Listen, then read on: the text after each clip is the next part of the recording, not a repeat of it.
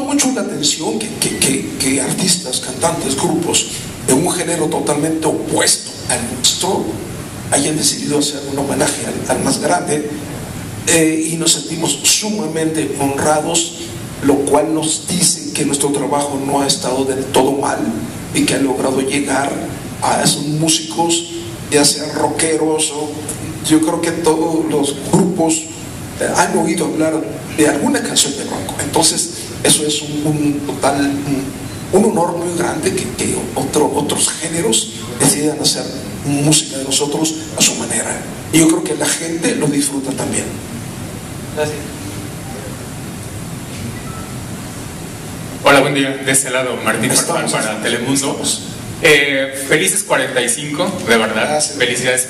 Y a mí me gustaría hacer un poco el recuento a través de ustedes de lo que han aprendido Lupe y lo que seguramente tú estarás compartiendo con ellos en esta nueva generación, de lo complicado que es también este, este, este, medio. No es tan sencillo aprender a contestar, aprender qué se puede decir, qué no. Todo ese tipo de cosas que hay detrás también y que forman parte de una carrera musical.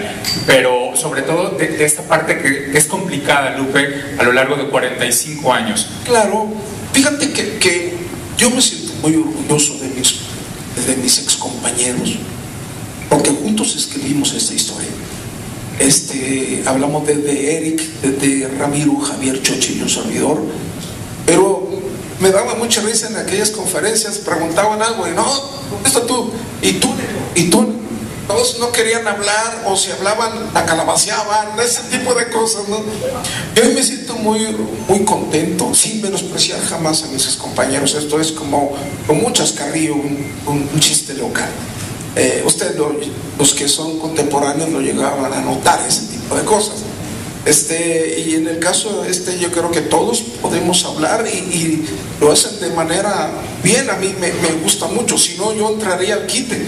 Pero en este caso yo creo que Bronco tenemos un poquito más de, de manera de, de, de, contestar. René, ¿cómo se les ha dado eso? Sí, pues yo creo que la, la vida en sí este, nos fue preparando para este momento sin planearlo, sin planificarlo. Nunca, nunca fue en los planes, siempre lo hemos dicho.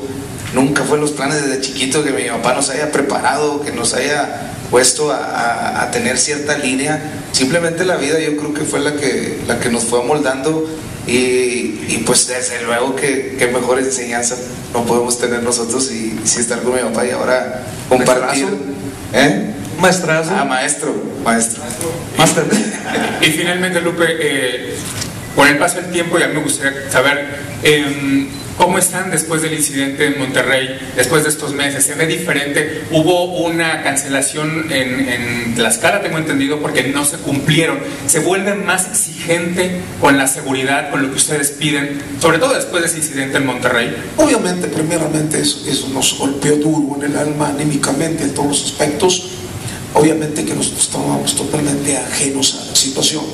A lo que respecto de lo de escala, yo creo que eso no, no, nos, nos alarmó a todos, a todos los grupos y a todos los artistas. Porque tú ves una estructura perfectamente bien impresionante que te apantalla y todo.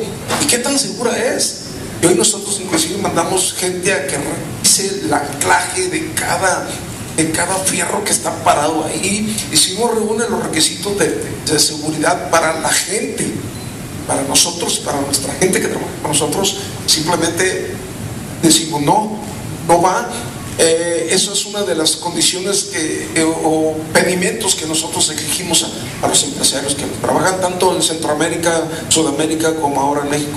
Pero yo creo que esto, habíamos oído noticias de otros, de otros escenarios que se han caído, pero no ha habido desgracias como este caso.